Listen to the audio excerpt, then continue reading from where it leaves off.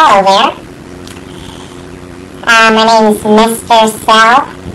Today we're going to be talking about cells. Hence the name Mr. Cell. I'm also known as Cellman. But the cell is the basic structural and functional unit of all living organisms. It is also the smallest unit of life that is classified as a living thing. Did you, did you know that? It's like a living thing.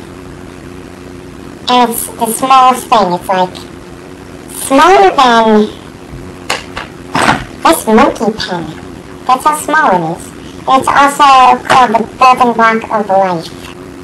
Oh, I forgot to tell you about something. Silly me. Should have went over this before, but there's different types of cells.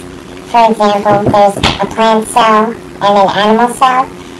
Um, obviously, humans are animal cells, and like a tree would have plant cells because it's a plant, not an animal. Alrighty?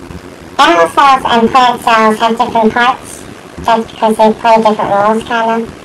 Uh, uh, animal cells, of course, have a nucleus, cell membrane, vacuoles, a mitochondria, of course, obviously, mitochondria, cytoplasm, and yeah, that's it. And a plant cell has a nucleus, cell membrane, cell wall, vacuole, uh, chloroplast, that's how you pronounce it, pretty sure, cytoplasm, and a mitochondria. Very important. So all in all, uh, life without cells would cease to exist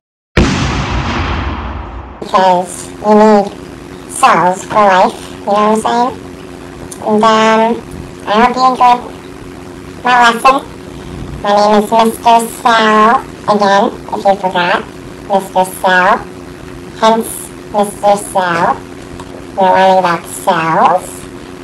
Alrighty. See you later.